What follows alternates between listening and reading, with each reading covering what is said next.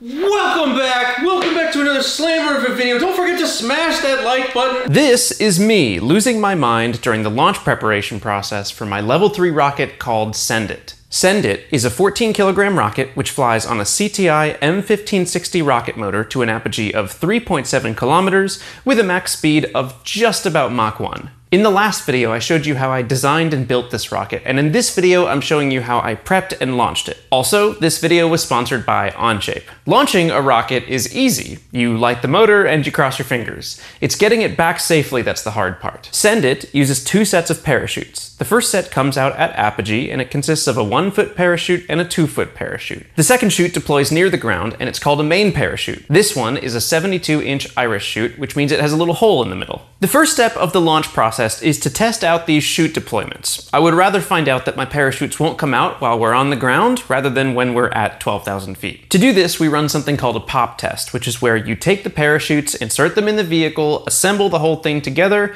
turn it on, and then fire the parachute ejection charges while you're on the ground. For reasons you're about to see, I also recommend letting your neighbors know that you're going to do this a little bit beforehand. It's L minus one. Uh, I'm not feeling great, uh, but I never feel great on L minus one, so that's kind of part for the course. Okay, so we're putting the Nomex blanket on because what we want to do is protect the drogue chutes, which are in here, um, and then we've got a little clocking here. See this line? This is going to help us align where the shear pins go. So I've drilled those holes already, and the last thing we need is the boom juice, and I don't want to do that until we're outside.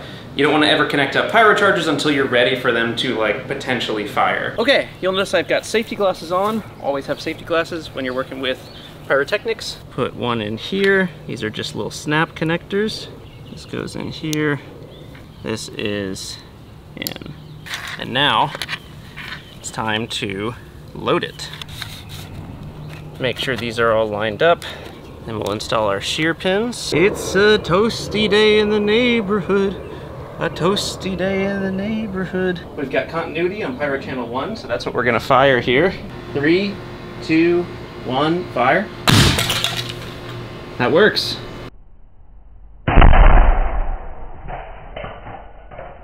With the pop test done for the drogue chutes, my friend Andrew Adams and I set out to pop test the main parachute. Acquainting myself with this camera. I need to I need to um I need to make a compilation of the number of times the the clip starts and the person behind the camera says, "I am now." Yeah. so we've got the chute folded. It's pretty tight. We're gonna go a little bit tighter because um, it's not gonna fit great in the nose. We're gonna make a little Nomex burrito here into the nose cone.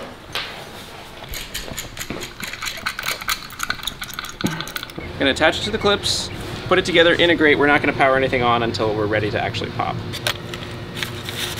There we go. I wish these were Phillips head. I think standard is the worst type of screw. Hmm. And okay. Ready? Send it. Three, two, one. Woo! Comes out. Around this time, we also weighed the rocket without propellant in it, and checked the center of gravity to validate the simulations we had been running on the flight. Our CG ends up being right here. Right that's, around. That's really close. Right between the N and the D. Another important thing that happens on the day before launch is some type of catastrophic failure. This is a time-honored tradition among Rocketeers. No matter what, you have to have something go really terribly wrong the day before a launch. With Lumineer, our catastrophic failure on L-1 was us frying the flight computer at 4 p.m. on the day before launch. We're gonna power on via the power hatch. Power hatch. Oh, that was a loud pop! Oh. Oh no. I smell something hot. I smell it too. Me too. I burned it. Ava?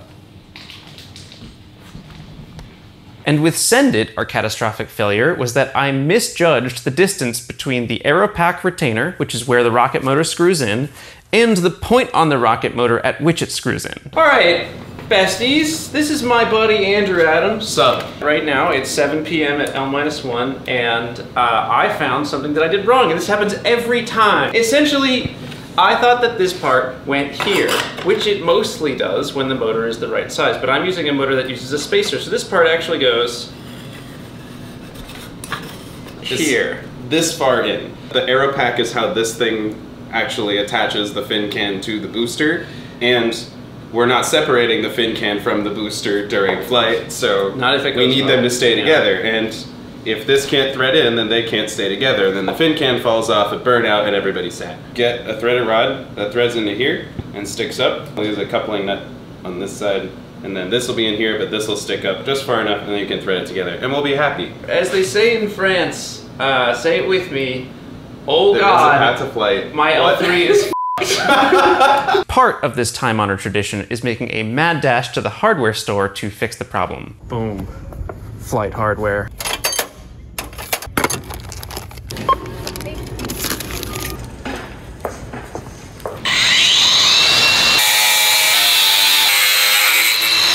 There's a path to flight. There's This a path it. to flight. This is the path to flight. Oh, can I see the forward closure real quick? Mm-hmm. So now it's recessed. This is as it's going to be in flight. Fin can goes on like that. This goes in here. And then what we want to do, screw the motor in. So that, that's a fix. This is fixed. Back to the schedule. With the motor attachment issue fixed, the next step of the launch process is to build the flight motor, which is a CTI M1560. A motor like this will come in several parts. A case, liner, forward closure, nozzle, propellant, and then O-rings to seal it all together. There is a whole lot of nonsense that occurs over the course of about 30 minutes of usable footage from this process, and if you want to see more of that, you can see the unnarrated full cut of the whole launch process on my second channel, which is linked in the description down below. Quiet on the set, please! Can I get some. oh. Quiet on the set, please. We are gathered here today to assemble the CTI M1500. 1560. So the first thing we got to do here is put the smoke tracking grain into the thing. Do these need to be totally flush? They should be pretty close. They're about a millimeter, a millimeter out. Okay, let's try this again. It's just like distributed a little differently. Yeah. Fit the nozzle to one end. Nice and snug. That's a good fit. Now they say this is pre-lubricated. I'm not so sure. Put the nozzle holder over the nozzle until fully seated. Okay, all right, we got the O-ring in. The Boston accent's fun, but I just want to have like some usable material is the problem. All right, these are the propellant grains. It's a two grain motor in a three grain case, which means we've got a spacer. This is the point at which we put the grains into the liner. All right, so this is grain one going in. Ooh, that's really hard. It says to do it horizontally.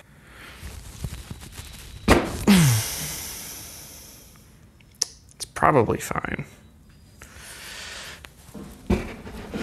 Grain goes in. Okay, so that's one grain in. Welcome back to Tony Pepperoni. Leans his entire body weight onto about six pounds of ammonium perchlorate composite rocket propellant.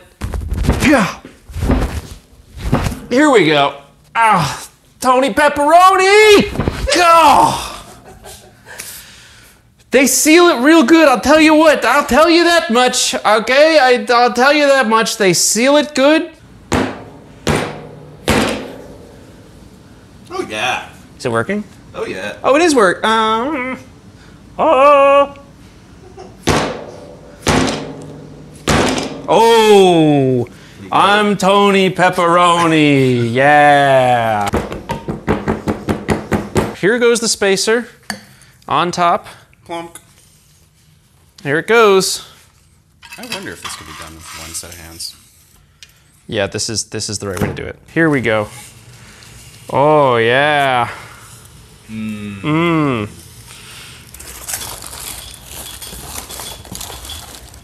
The right size is that this should be uh, just a little bit proud or flush, and it's not quite there, but it's a little bit proud. Hold real tight. All right, you ready? We're gonna do one more big push. It's gonna be one, two, three, push. Ready? One, two, three, push. Ah. Integrated. This is integrated. We got to do other tasks. We are not done, and we are. only have an hour and a half till midnight. Yeehaw. Ye ha. With the motor finally integrated, I inserted it into the rocket and screwed it tight. And after a little bit more packing, Andrew Adams and I completed the pre-flight checkouts for avionics and then avionics integration. The night before a launch is almost always very stressful, and you usually stay up a little bit too late because of misjudgments in time. With that said, drives out to the desert in the early morning are always exciting and filled with energy. Send it! Send it! And once at the launch site, we got to work setting up right away. The weather on the day was extremely windy, like right at the upper limit of what we were comfortable with. Fortunately, the club launch was held at the Lucerne Dry Lake Bed, which is a massive area of flat land where it's really easy to spot things at least a mile away. While the footage and audio do a pretty good job showing how windy it was, all of our simulations had been updated the day before launch with the flight day winds, so we were still comfortable flying in this amount of wind, having simulated the flight beforehand. After first setting up the ground station, I then did a quick check on continuity and power for the avionics bay. Okay, we have on TeleMetrum, apogee igniter voltage is 4.19, main igniter voltage is, voltage is 4.2, so that's good. Yep, Um, voltage. And Ava has continuity on 2. The bat voltage looks great. Start cameras. Yep, start cameras. Hello? Put your face in Hello? front of the camera. Hello? Hello? Shouts out. Packing chutes is the next step here, and as mentioned before, the main parachute is a 72 inch Iris chute. It's the same main parachute that we flew on Lumineer last year, but tragically never got a chance to inflate during flight because of a whole bunch of failures. In order to pack this chute inside of Send It, we folded it really nice and tight, rolled it in a nice little Nomex fireproof blanket, and then packed it in the nose of the vehicle. Along the way, we also made it a point to tighten and torque stripe each quick link and hex nut on the rocket. Doing this helps you see after the flight if any of your connections started to twist away or back out. It also provides some assurance as to how tight your quick links are, and it helps you make sure that you've definitely closed your quick links. Anyone who's been in amateur rocketry long enough will know that a failed quick link has killed many a flight. After attaching all of the lines, we hooked up the pyro charges and installed shear pins for flight. With an actual flight instead of ground testing, I usually like to tape over the shear pins with some aluminum tape. This ensures that there's no way they could shake themselves out on the way to the launch pad or during the flight. Now, part of getting your level 3 certification, at least under Tripoli, is working with two advisors from something called a Technical Advisory Panel, or TAP. These folks are meant to help you through the design process, spot errors you might have, and as you're getting into higher powered rocketry, keep you safe. So before the flight, I headed over to check with those folks who were certifying my flight as TAPs to make sure they were okay with the flight and that they could sign my paperwork to say it was safe for me to fly. As mentioned in the last video, we did have to make one quick change to how the vehicle gets powered on to make it a little bit safer for flight, and that was at the advisement of one of the TAPs at the site. But with that changed and our paperwork signed, I was cleared to go to the launch pad. At the pad, we installed the rocket on the launch rail, raised it, and then installed the igniter, which is always a stressful process. I'm always really careful to twist the leads of the igniter first so that it can't ignite if there's any rogue current across those leads. And with the rocket on the rail, we headed back to the ground stations. And this is where we ran into a problem. No, they're uh, right by the rail, which I did not consider until just now.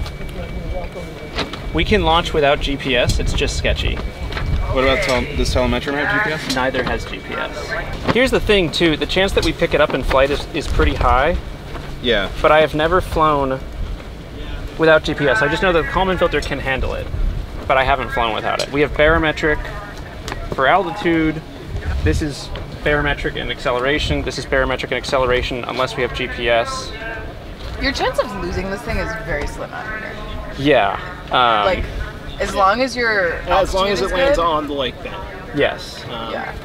I did plenty of power on testing and RF compatibility checks while I was at my house. The one thing I forgot to do is do all of that testing next to a launch rail. This rail, combined with the placement of the GPS antennas on the rocket, caused enough RF interference so that we couldn't pick up any GPS signal. To be clear though, both of the computers that flew on Send It are totally fine to fly without GPS. They're totally robust to that type of failure.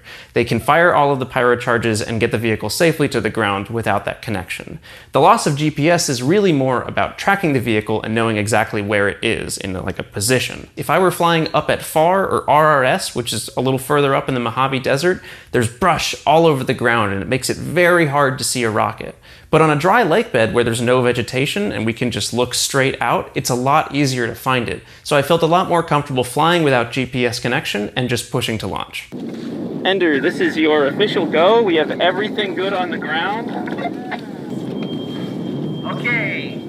David, here goes. Joe send it. Flying send it off pad G6. Good luck. Five, four, three,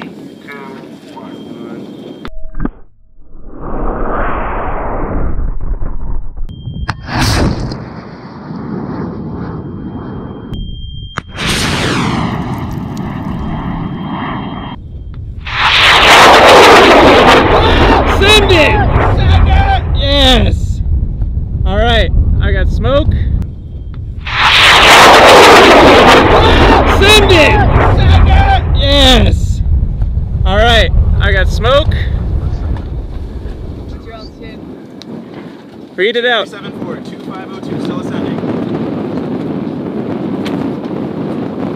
Uh, data age is. Point, uh,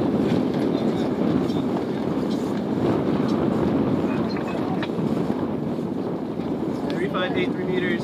I see an event, maybe? Anything? Oh yeah! we got a drogue. Yeah! Let's go! The rocket flew perfectly on the way up, and Ava got the drogue chutes out just a tad early. But learning from the lessons of Lumineer with the ripped drogue, these chutes had no problem staying together. At around 250 meters here, we popped out the main parachute and landed on the ground.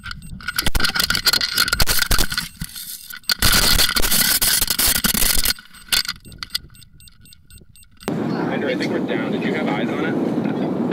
I might have eyes on something better. Oh, there, there. You see it? Oh! That's black and orange. Okay. Where? I see Can you it. zoom on It it? is straight out. Oh! Yeah. Yeah, I got eyes on it. Yeah. Okay. That thing's gonna be dragging. Andrew Adams was right here. The rocket was dragging. A whole lot, actually. In between the time that it touched down on the ground and the time that we got to it to stop it, it moved a whole 150 meters or almost 500 feet across the ground. This is because it was getting dragged by the main parachute, which refused to stop inflating because of how high the winds were that day. It took a little while for us to get to it, but the only part of the rocket that did not fare well was the onboard cameras which popped inside of the avionics bay. This was sort of expected though, as I attached those cameras intentionally using a small amount of pretty weak epoxy because I knew I wanted to take them out later. The only downside to this was that we ultimately cracked the SD card on the up-looking camera, and I cannot for the life of me get the data off of it. I have tried really hard in the past to get data off of cards like this, especially in the case of Lumineer, and oftentimes even professional recovery services have said no, we are unable to get the data off of this. This is also the moment that I decide I am never going to have another cracked SD card prevent me from getting footage off of it again. I will go to great lengths to ensure that these little cards don't crack and that I can get the footage off them in the future. It is like way too high value for me to keep losing this. That said, every other part of the flight was a success, and after getting all of my paperwork closed out, I mailed it into Tripoli and I should, fingers crossed, be level 3 certified now. As I work towards doing a space shot in the next few years, every flight is an opportunity to refine procedures, rehearse checklists, build flight experience, etc. I know that fundamentally, rockets like Send It look pretty simple, especially for the things I usually build on this channel. There's no active guidance, there's no crazy control algorithms, we're just shoving a solid rocket motor into some fins and a nose cone. However, as anyone who has built a high-powered rocket knows, it is deceptively hard to build vehicles as they get larger. The bigger the rocket, the more weirdly complex it is and weirdly difficult in ways that you don't expect. So send it going three or four kilometers isn't a huge deal technically speaking, but it paves the way for some really fun flights. Now that I'm level 3 certified, I can buy any commercially available rocket motor. For instance, the next high-powered rocket I'm building is going to go Mach 3 and hit 40 to 50,000 feet with a very special payload in the next few months. But in the meantime, it is time to talk about today's sponsor. Thank you to Onshape for sponsoring today's video. Onshape is a cloud-based CAD platform built with businesses in mind. Although it operates straight from your web browser, it is not a lightweight CAD system. Onshape has industry-leading manufacturing-specific features for sheet metal and frame-based design, as well as an easy way to create drawings and configurations. You can be sure you're always using the latest version of Onshape without the need to install it, because Onshape is pushing updates to their platform every three weeks. And with robust data management built into the platform, you can effortlessly keep track track of your designs while branching out using a GitHub inspired version control system. Onshape is especially well suited for working with teams and hybrid work, and the platform makes it easy to collaborate with anyone on the same document at the same time anywhere in the world. As mentioned previously, Onshape has been the platform I've used for several major projects in the last few years, and if you want to give it a try, you can support this channel by supporting today's sponsor. You can try Onshape for free by going to the link here or in the description down below. Thank you so much to Onshape for sponsoring today's video, and thanks to you for watching. My name is Joe Barnard. May your skies be blue and your winds be low.